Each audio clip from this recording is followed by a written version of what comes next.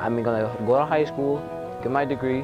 We were driving down the road and he saw Mathnasium and he said, Mom, I should go there. It's very rare that parents come in saying, oh, we just want an assessment because my son loves math.